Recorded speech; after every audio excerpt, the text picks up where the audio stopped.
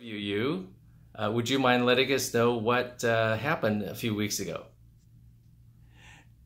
I had a, a Urolift procedure, and uh, uh, um, I only had to take pain medication uh, the first day.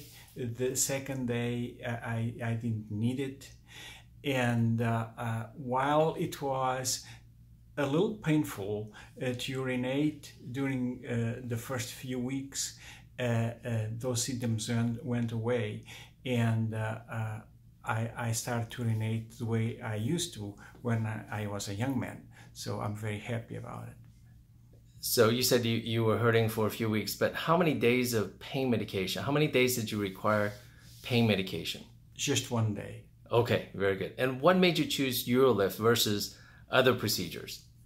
Because, as I was explained, it was an in office procedure, and uh, uh, after the procedure, uh, the the pain is not uh, as as pronounced and it's a lot easier uh, to get over uh, the, and to recover from it.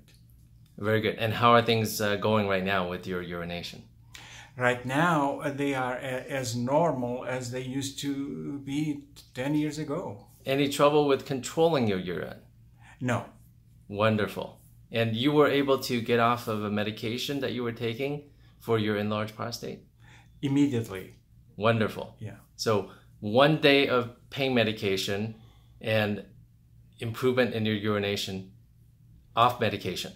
That is correct. I, I did not finish uh, uh, the prescription for pain medication. I didn't need to. Wonderful. Would you recommend this procedure to men who may need it? Yes, definitely. Wonderful. May I share this video with those who may be interested in this procedure? You bet. Thank you so much.